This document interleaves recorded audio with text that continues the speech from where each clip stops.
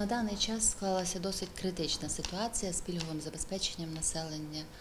Е, Хто підлягає пільговому е, забезпеченню населення медикаментами? Згідно постанови Кабінету міністрів від 17 серпня 1998 року є е, постанова номер 1303, є цілий перелік населення, який підлягає даній забезпеченню. Діти віком до 3 років, діти-інваліди віком до 16, інваліди першої другої групи. е, 50% знижка йде, а безкоштовному йде онкологічні захворювання, гематологічні, діабет, ревматизм, ревматоїдний артрит, пухирчатка. Е, Цілий перелік захворювань, психічні захворювання, Тобто це досить велика. це дуже велика група населення. Практично у нас у районі около 19 тисяч чоловік, які підлягають даній групі населення, е, даній групі пільг.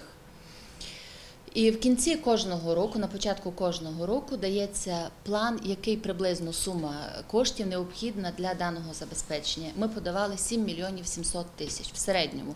Це Така подав... потреба. Така була потреба. Ну розумієте, потреба не може бути конкретно, тому що ціни на медикаменти міняються, воно все є така сума. В минулому році так. Да, минул в кінці року, от на початок року подавалася. Е, виділено нам на даний час 1 мільйон 65 тисяч. То є надзвичайно великий мізер. На даний час із цієї суми е, використано 980 тисяч. 980 тисяч, то реально виходить, зараз є вересень місяць, до кінця року у нас залишилося 85 тисяч гривень. Крім того, у нас іде фінансування згідно програм Так.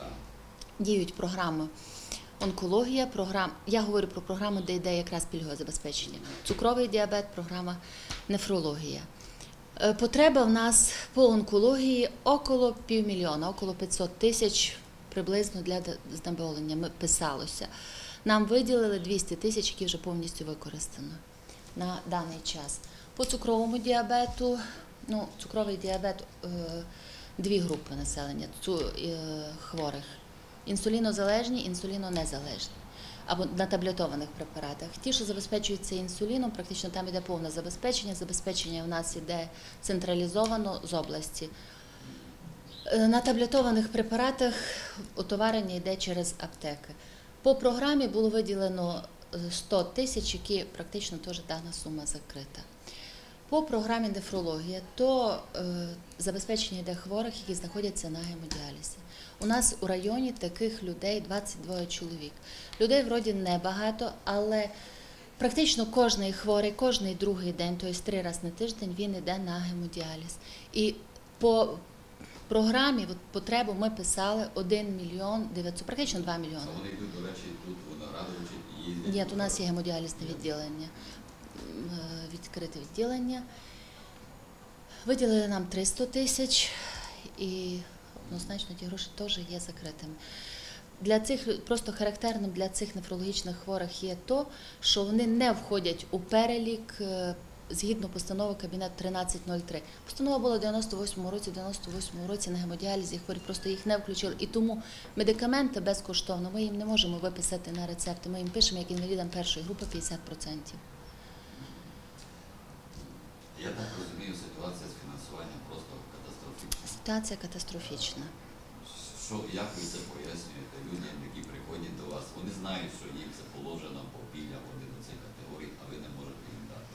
Ну так, так і пояснюємо. Я ж кажу, забезпе... ми е, постаралися поділити. Люди вже так навчилися, що в перших числах отоварення йшло, приходимо. Перші чи а зараз такого не буде, тому що крім того всього, що йдуть групи, у нас отоварення йде дві аптеки. Одна аптека Хустфармівська аптека, яка йде якраз ці всі згідно даної постанови. А 133 аптека то забезпечення наркотичними анальгетиками проводить. Так от кожний місяць у цю аптеку около 40-50 тисяч іде сугубо за місяць коштів на знеболення. Я думаю, що самим основним є забезпечити онкохворим знеболення все-таки. Е, Марія а у світі ви знаєте, як це робиться? Там очевидно теж є якась пільгові ці категорії, чи це тільки у нас із е, радянського режиму лишилося таке? Однозначно є, ну у світі є страхова медицина, у світі є інші, багато інших важелів. Я думаю, то є у нас на Україні є загальна, то є загальна проблема. То я думаю, недостаток фінансування йде не лише в медицині, а в різних галузях. Так, і зарплату не Різні проблеми є. І- проблема зараз дуже велика. І я думаю, що якщо нам не додавлять кошти, то проблема буде велика. про те, що закриються медичні кабінети, не, не йдеться. Так я думаю, не стоїть поки що. Поки що питання закриття медичних кабінетів немає, тому що медицину, медичну допомогу людям надавати треба. А от Ну і люди виходять із того, очевидно, тим, що самі купують. однозначно мають купувати собі самі.